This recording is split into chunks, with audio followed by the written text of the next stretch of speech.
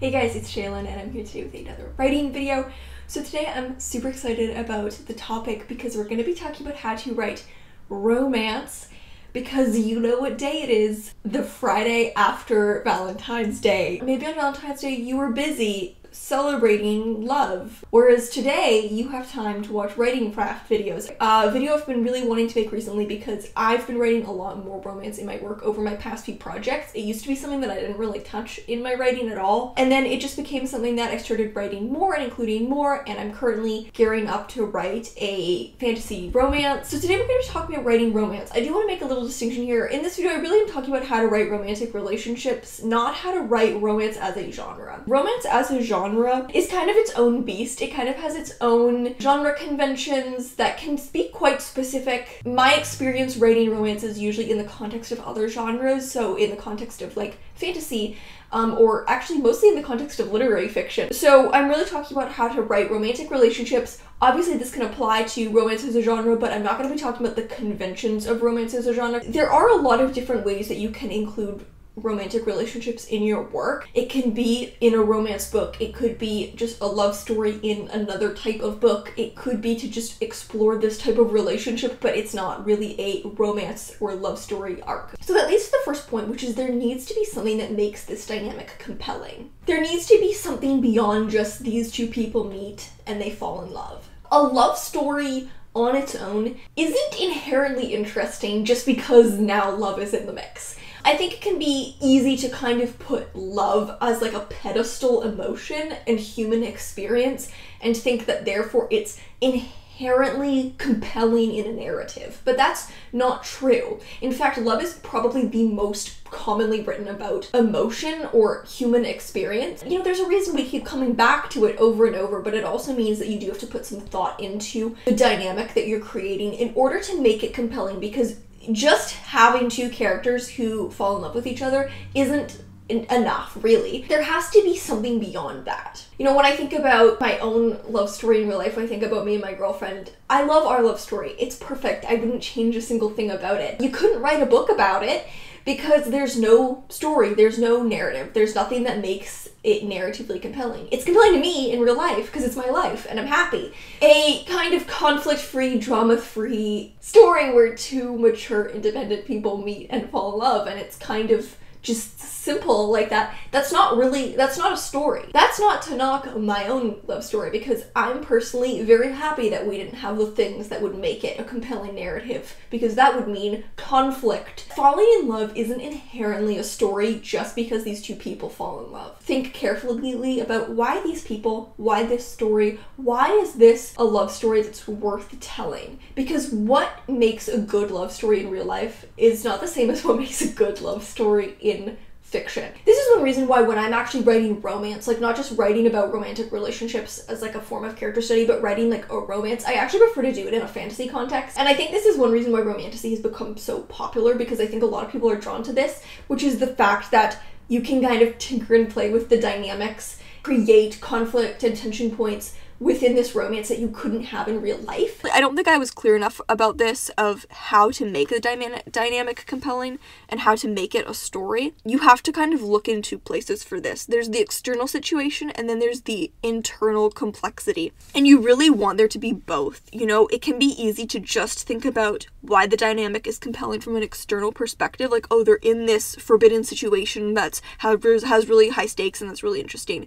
But what's the internal emotional component that's really important. So you want there to be both. You want there to be this external compelling situation that probably has like interesting stakes, but that equally needs to be paired with a reason why this is necessary for the larger story. You don't want the romance to be included in the story just because, I don't know, romances are fun or even feel like it's a default thing because we see a romantic subplot in so many books, it's so common. You want it to be done intentionally and feel like a necessary part of this story that could not be extricated from the story without the story being fundamentally like not working. And th- the way to do that is really to make the romance a crucial part of how we are exploring and revealing this character. Um, I think that that is really really important. If we don't feel like the romance is a necessary avenue for exploration of this character and that is a necessary angle of the larger story. It falls really flat and it feels like it was just included as a default because romance is a common part of so many stories.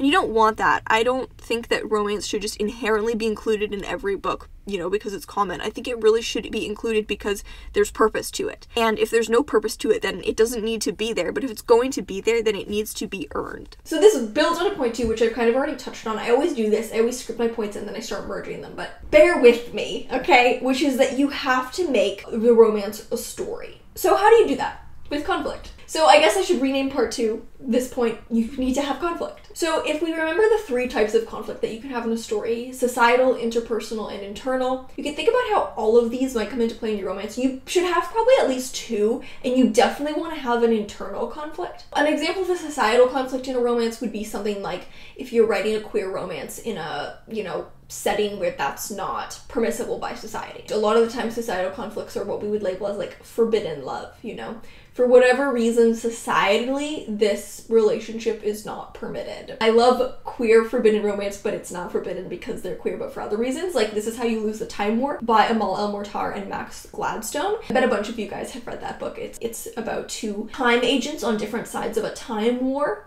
and so they're trying to destroy each other's timelines in order to win this time war, but then they end up falling in love with each other. And then there's also interpersonal conflict. Interpersonal conflict is a very important part of the majority of stories. This is the conflict that's happening between characters. So there may be interpersonal conflict between your two characters, or there could be other conflicts in a larger web of relationships. Say the setup is that the main character is having an affair with their best friend's fiance. So there's a lot of interpersonal conflict here because there are a lot of close personal relationships at stake. So the thing that's threatening the relationship here isn't societal, it's relationship driven. And then internal conflict is really, really key because this is what's going to give your character a character arc that moves alongside the romantic arc. This is what the character must overcome within themselves in order to make this relationship work. It's how do they have to grow if they're going to make this work with this person. By having this internal conflict, you're making the character arcs and the romantic arcs intrinsically interlocked and inseparable from each other. But ideally, you want some external conflict of, you know, societal or interpersonal conflict happening as well. So, the next point, since we're on the topic of conflict, is to think of this push and pull between connection and conflict. So, what makes a fictional romance compelling is that there's some type of conflict, whether that's societal, internal, in- interpersonal, internal, or some combination of the three, that are keeping these characters apart. So, then it's very beautiful if the relationship works out in the end because we get to see the connection overcome the conflict. Then it can also be tragic on the flip side if the conflict is what inevitably overcomes these characters' connection. And you can kind of write it in a structure of alternating between these two things. So, you can have a moment of connection between the characters where they build a closer bond or their you know their initial maybe negative impressions of each other are subverted or they get closer they you know have some kind of shared vulnerability. And then you can have a test where they're put in some kind of conflict situation that tests this connection they've just built. And sometimes they may pass that test and sometimes they might fail at it putting them a step backwards. You'll get to the point where there's kind of an ultimate test where we see in the end if their connection will overcome the conflict or if the conflict is what's going to win in the end and we're going to have more of a tragic story. Which is very mean if you do that, but you do you. My next tip is to think about the main themes of your story and explore them through the relationship. I think one way to add a lot of depth to a romance is to use it to explore the core themes of your story. You don't want the romance to feel like it's tacked on. You want it to be an integral part of the story, and this is something I really thought about when I was writing a romance in a literary fiction book, which aren't two genres that always go together. And I think the keys to that were making it integral with the character arc and also making it integral with the themes. However, I think you can do this in any genre. Each character can have kind of a different relationship to this theme. When these characters are brought together, their relationship can allow both of them to grow in different ways regarding the same central theme. Or if it's a negative character arc, they might regress. I have this in my book I'm currently editing, The Animal Sense, where the romantic relationships are not positive. It's not a love story. These people just have messed up romantic connections with each other. And so through their romantic connections, we're exploring central themes that relate to all the characters. And yes, more than two. Uh, it's not polyamory. That would actually solve a lot of people's problems in this book. It's just disastrous. But they're kind of all regressing through how we're exploring these themes rather than growing. That's also possible. But you know, if you're writing a romance, then it's probably going to be a positive growth. So in my novel, Holding a Ghost, which is essentially a love story. One of the central ideas is kind of like what version of yourself is real? Is it the version that's in your art? Is it how other people see you? Both of the main characters of this book have kind of different relationships to this theme. They both bring that into the relationship and they can both kind of grow in their own separate ways regarding this theme by being together. Building on that, I think it can also help to identify any central motifs or kind of vehicles that you'll use to explore the relationship. I think that this can give the relationship a really unique unique feeling and make it feel really unique to the story and like something we haven't seen before. If you have a really specific motif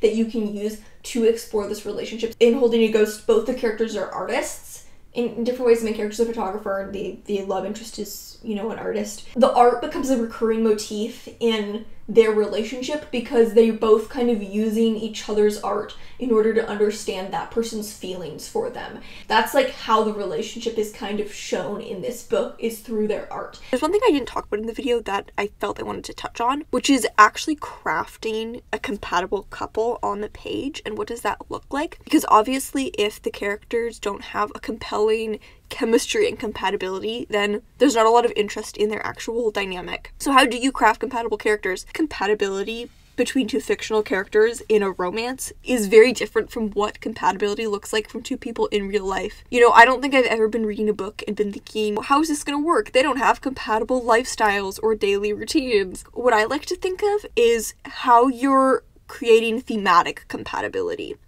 And I think the best way to do that is to kind of create a sense of mutual growth. So, where whatever flaws the protagonist is actively struggling with in the book, we can see those flaws be challenged and then see them starting to grow from the balance that the love interest provides, and vice versa. So, the love interest will equally be challenged with their own flaws, and based on this sense of balance from the protagonist, there will be a, a, a sense of active growth for them as well. If we can even see like this kind of sense of healing from both characters, that can be really, really powerful and it gives a lot of meaning to their interactions on the page because rather than their interactions just being, you know, conversations to show that they have chemistry, that chemistry is actually a path for growth for both of the characters and i think that that is really the key to creating compatible characters is to think almost more spiritually or more thematically of how they're compatible in this kind of emotional thematic sense and how that's going to lead to growth for both characters. My next tip is to be really, really intentional with the physicality, the specific details that you use to describe the love interest. That's descriptions of their features, how they move. Really, anytime the love interest is in a scene, being really, really intentional with that because picking out these really subtle, small, very fine details, it shows a level of attention and that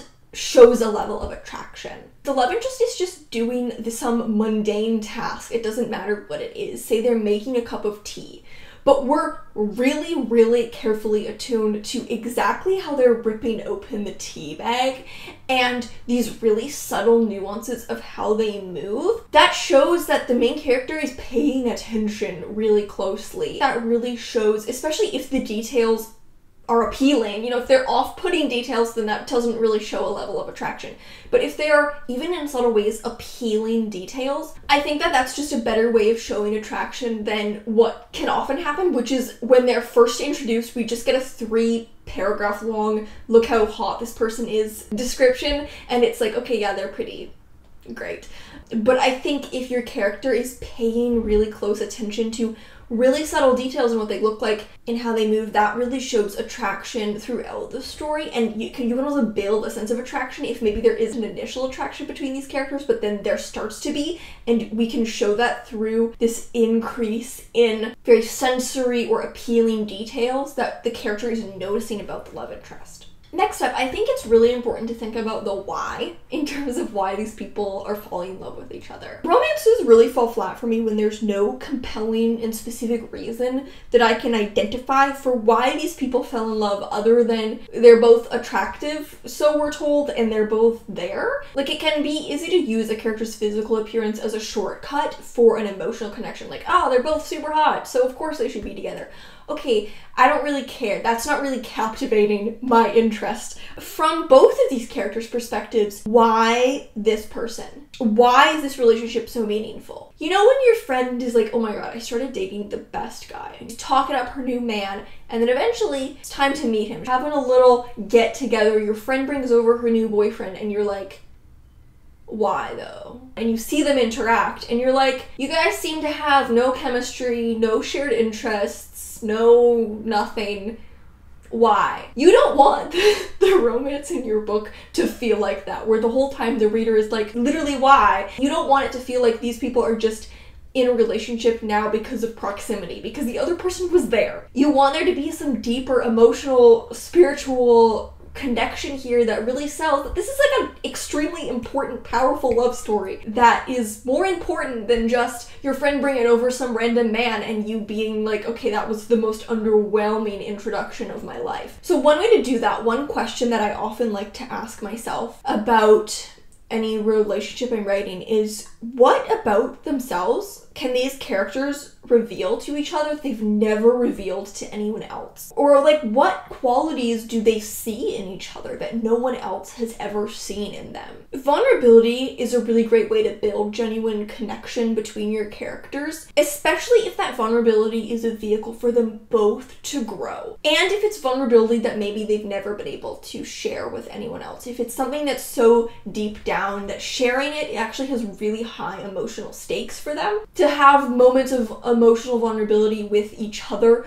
really convinces the reader on the page that this is quite an important connection for these characters because it's actually quite an important moment in their lives. You know, these moments should be hard for the characters. They should be moments where something has to be overcome. But that's, I think, where the payoff comes from, and it's what makes the relationship feel really earned and powerful in the end. Another thing that I really like to ask, I think this is a question that I've started asking of my characters in a lot of contexts, not just when I'm writing romance, but especially when writing romance, is what is this character's relationship to being loved? And there are some other tangents questions like, you know, what is their relationship to heartbreak, if that's relevant to the story or to their life? What's their relationship to sex, if that's relevant to their life and to the story? There can be some other related questions that can offshoot from that, but the core of it is what is this character's relationship to being loved? And I think that that is something really, really important to ask because ideally, by the end, their relationship to being loved has been challenged and has also changed. Your character's relationship to being loved may not be super healthy or positive or optimistic at the beginning. You're gonna show that being challenged on the page and show them changing and growing. As a final, like, general closing off point, just remember that we should be learning about both characters through this relationship. Both characters need to feel like fully rich, developed, living people. When you're writing a romantic relationship, it is a character study of the relationship and also of both characters as individuals, not just the protagonist. We don't want a situation where just the protagonist grows and we just learn about the protagonist and the love interest is just there to facilitate that. That can make your love interest feel like a device and not a real person. What are we learning and revealing about both of these characters through the trajectory of their relationship? This is something that you can do in any type of relationship. Any type of relationship in your story, whether it's familial, whether it's platonic, whether it's romantic, can be a vehicle to explore both characters through this relationship. But I think with a romance, especially if the romance is key to the story and it's core to the story and this is a really important relationship, this is such an important thing to look at. So that's all for this video. That is everything that I wanted to say on writing romance. I hope these tips were helpful for you in crafting compelling relationships in your work. Again, I will leave my video on writing compelling character relationships below because I think it's a really important pairing to this video and it has some more general tips that you can apply to any type of relationship. Pretty much all the points in that video are really important for writing romantic relationships as well. So that's all for this video. Thank you guys so much for watching and I'll see you in another video. Bye!